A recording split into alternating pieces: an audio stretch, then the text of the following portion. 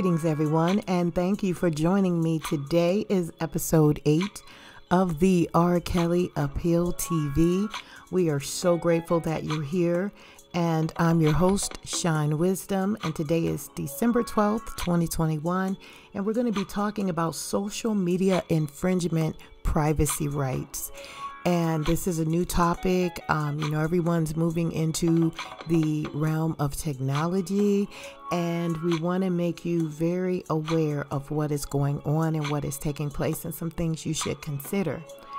Welcome um, to those who are, you know, helping to make the channel grow. Thank you for all the subscribers. And last week was the highest ranking podcast on the playlist. And this goes to show the gratitude that is being accepted based on the importance of this topic. So, 2021 is almost at its end, and I hope we're all thinking about new and positive energy perspectives for upcoming 2022. This year was filled with major growth challenges helping us understand we are all going through something as a nation. No one is exempt from this universal move. Knowing we are not alone in the battle for self love and the maintenance that comes with self care, it is important to know what you need to know in this new world of technology. In today's episode, I would like to share two concepts, and I'm going to incorporate Robert Sylvester Kelly's um, infringement opportunity that could come from posting information about this individual as Robert Sylvester Kelly and not as the pseudonym of R. Kelly.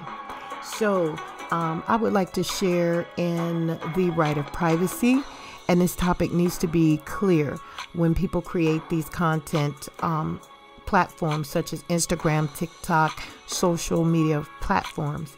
And the Media Privacy Act will be reviewed today.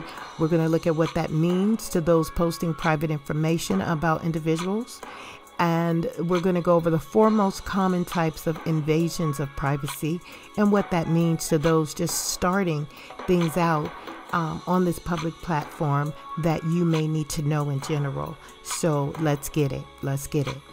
Someone posted the question why would R. Kelly tell a stranger to share his life story on social media about his personal life and not receive any accolade or recognition that comes with the credit behind this information? So, we're going to look at the social media platform of privacy when sharing information regarding a third party. And here's what we found in this week's research. And being part of the YouTube family since 2009, when I created my first YouTube channel called Emerald Mystery Radio, during that time, people had to honor what was known as copyrights your video would get infringed upon and reported if you used information that was copywritten and didn't give honor to the individual, didn't say that you had a contract to create this content, um, and then it was flagged and then eventually removed. Um, however, let's look at the case of R. Kelly as a public figure and not the man behind the public figure. So we're looking at the public figure, R. Kelly. He is the singer, performer, artist, king of R&B, and he is the ego of Robert Sylvester Kelly. Okay, all of his information is generated under this thing called copyright regarding R. Kelly, and much of it has been erased from the top channels such as Vevo, BET, Billboard, um, all of those top ranking social sites. So many social sites has already taken his music and pulled his videos. It creates an open field of suggestion to the public. With with Kelly being convicted, his communal rights are even open to the public. Now, the problem that one may have in the future is his private life being based on uh, infringements about truths and untruths provided within videos relating to social media content. So, say for instance, if one person has a right to share the life of Robert Sylvester Kelly with his permission, they will have to go through certain channels of law. They will have to secure themselves from a future lawsuit. And that's something that is just not a moral integrity situation here. It becomes a matter of law of fact that could hold up in court involving slander, defamation, infringement, etc. Now, this is especially important if he is released on a technicality. I would suggest watching some shows about internet laws, privacy acts beyond 2019. And even if a person creates a channel promoting unconsented information about another person and that individual finds out, even if the video has been deleted, one would never know who has already downloaded that information with hopes of something coming up at a later date that could expose private information that was publicly shared. People are very hungry for fame, and a 10 minute place in a spotlight will be like an honor to many, many people. So, being mindful of what is posted on social media about a person may be the number one alternative when considering if it should or should not be posted. So, I, I definitely wanted to share that. Um, and I think that asking someone to post private information about an individual should definitely be a contractual agreement. Number two, some people feel that R. Kelly is a public figure and does not have any private life, especially after his convictions. So let me share some information that we researched as of December 22nd, 2019. And it was the Online Lawyers Association group that defined invasion of privacy as the unjustifiable intrusion into the personal, not public, life of another without their consent. However, invasion of privacy is not a tort or civil law or civil law on its own. Rather, it generally consists of four other distinct causes of action. Now, let's go back to what a tort is. A tort is defined as a wrongful act or an infringement of a right other than under than under a contract leading to civil legal liability. And this is what i want us to be mindful of because the new laws could possibly change and before you know it you think you're doing something good and then wow you have a lawsuit on your hand so states will vary on both whether they recognize these causes of action as well as what elements are necessary to prove them. So be sure to check your state law on infringement rights and social media rights. Um, maybe even talk with the lawyer and see if you know this is an idea that you're trying to promote if it will what type of area of law will you be able to stand on if someone files a lawsuit against you now let's look at the four most common types of invasion of privacy torts, and they are as follows. Number one, appropriation of name or likeness according to Cornell law. Now, appropriation of name or likeness occurs when an individual uses a personal name, likeness, or image without an individual's permission for commercial purposes. So when we look at Robert Sylvester Kelly, that is the appropriation of name or likeness to the King of R&B, R. Kelly. So, as in the name, um, if the name is used or likeness thereof for a newsworthy purpose without consent for commercialization, it can be considered illegal. So, according to internet law, defamation claims can be filed, especially if Kelly is exonerated from his charges, if the case is overturned, if the case is retried and he wins, or he wins an appeal. So be very mindful what we're putting out here during this empty time. Number two, intrusion upon seclusion.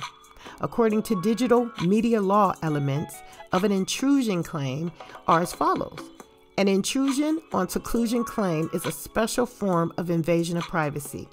It applies when someone intentionally intrudes, physically or otherwise, upon the solitude or seclusion of another. So, take for instance, in Robert Sylvester Kelly's case, people start to go out and begin doing their own research and doing interviews on individuals who said that they had a, a, a like in his case a sexual count encounter and this this individual tells you everything about what goes on but nothing is in stone. Not that's defamation.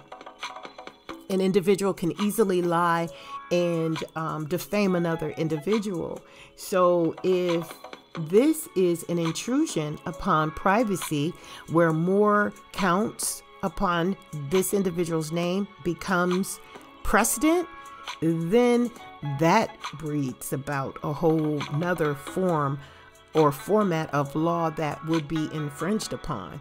So it's it's it, it, it, I'm telling you it's a big situation. It applies when someone intentionally intrudes physically or otherwise upon the solitude or seclusion of another. In most states to make out an intrusion or seclusion claim, an individual must generally do these four things. First, the, the, individual without authorization must have intentionally invaded the private affair of the individual. So, did you overstep boundaries when you went to get the documentation that you received? Were you stalking? Were you looking in the window in the middle of the night and seeing something that wasn't supposed to be? Um, uh, uh, second, the invasion must be offensive to a reasonable person. So, was this overstepping your boundaries when you um, did some, when you committed a law in order to get this information to defame this individual? Did you do that? And that could be held up in court. That could be something. Third, the matter that the um, defendant intruded upon must involve a private matter. So this must not be a public matter, something that we already know about um, an individual, and in this case, R. Kelly. Um, and finally, and finally, the intrusion must have caused mental anguish or suffering to the individual in question. So, say for instance, if someone had a conversation and said, I'm going to go ahead and post these videos up and I'm going to put money on your books and I'm going to give you, you know, the lifestyle you need to live in while you're incarcerated, um, Robert Sylvester Kelly, and then they go out there and they promote their channel um, on social media and does not do what the contract states. At that point it's null and void. And say for instance if everything turns on um, to the point where the individual is able to file a civil suit that could be possible. So we need to be very very mindful. And a lot of this i found out myself as I was doing the research. So I'm going to really, really honor, you know, just not trying to get likes on a video. It's it's it's not about that. It's about giving the information and sharing with the the um, the society the purpose behind what is being stated. And it should be of a helpful nature. It should always be of a helpful nature, not a hurtful nature. Number three, false light. According to the Digital Media Law Project, false light is one of the four categories of privacy torts we've talked about misappropriation, intrusion, and we're going to talk about publication of private facts. But false light it places the individual in a false light that would be highly offensive to a reasonable person and the author of that false so falsivity could be in in fault for publishing this information. So being very mindful, especially in, in, in an appeal situation, certain things that was stated against R. Kelly during his trial, that can come out to be misleading, um, false, put, putting him in a false light, and um, taking information and using it to defame. And number four, the public disclosure of private facts. This one I want to really take a little bit of time and talk about. The elements of a publication or a private fact claim involves these elements. Number one, a public disclosure. So you must make it public. It has to, you can make it public through a conversation where a person says that you said something, or you can upload it on a video, or you can put it on a post um, or you could take a picture of it, even. Okay but it has to be a public disclosure. You have to publicly disclose it. Number two, the facts disclosed must concern the private life of the individual, not their public life. So, everything that we know about R. Kelly and the public essence of this situation, R. Kelly is not going to be a problem because that's public but it becomes a problem when it infringes upon his private life. And that we need to make sure that we have the ability to talk about. Okay. Number three, the matter disclosed must be one which would be highly offensive and objectionable to a reasonable person or ordinary of ordinary sensibility. Okay, so say for instance, if that individual is saying that, you know, is, is coming forth and defaming the character then at that point, um, of something that we have not heard, that has not come out in trial, that has not come out publicly um, against the individual in question, then um, that right there is can be objectionable you know? So we can take that and say that that's a civil infringement upon our privacy rights on social media and disclosure must have been made intentionally, not negligently. So, intentionally, you chose to upload it, post it, the individual chose to talk about it, to commit about it, and to share detailed information that was of private nature, um, especially in confidentiality type um, agreements where, you know, I'm telling you this to get this off my chest, I need you to know this, or whatever. Um, that's why agreements are so very important because people can mislead um, another person because they're not clear on what they're desiring from the conversation or the confidential information.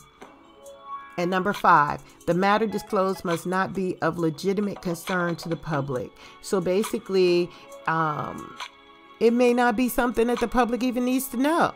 Okay, so if you would like to learn more about social media privacy rights, contact your state or local um, court um, and get some relevant information on laws that pertain to your state and your situation as well. So, the reason for bringing this information of privacy and defamation of character within um, social media content is to let you know that um, commercializing another's private life is illegal without their consent and contract or binding authorization. Now, yes, sometimes you may have a power of attorney that will use um, the opportunity to to promote certain things for you because especially those incarcerated and so that's very understandable. But even in that position, it still should be agreed upon in written form. Okay. So I want to ask the question Do you feel that Robert Sylvester Kelly has a right not to have his private affairs displayed on social media by a stranger? Um, remember the Gayle King interview when Kelly stated about the power of social media was one of his I think, red flag keys for us to really pay attention. Well, you know, he only said a few things, but the major things he said was the most important and they were very vital, okay, and to our future. So he was absolutely correct that privatization within the sector of media exchange does have boundaries. People, however, who do not honor that privacy boundaries um, may have a lawsuit on their hands. And if and when the individual finds out that the information exists, they can take it and use it to their advantage in a civil suit. I watched a area um, on court on a court show where an individual was posting videos of the uh, took pictures of an individual, posted up, made money off of it, and they took them to court and they literally won. So that's something that I think we need to focus on too. Um, going a bit deeper, if one receives payment for untruthful information, private information that was not contracted and agreed upon by the parties, they can and should be sued. Thank you so much for listening, liking, and sharing this podcast. Thank you for all of your comments, emails, and calls. In our upcoming video, episode 9, we're going to be asking you what you would like to have researched on the R. Kelly Appeal TV uh, channel. A shout out to our background instrumental talents of instrumusic.com. And as always, keep it 100, and we will see you every Sunday, 6 p.m. Eastern Standard Time, only on R. Kelly Appeal TV.